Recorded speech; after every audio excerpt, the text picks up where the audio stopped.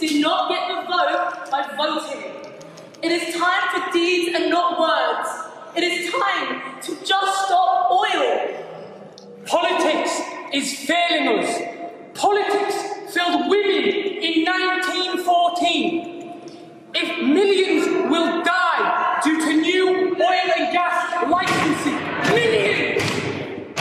If we love history, if we love art, and if we love our families,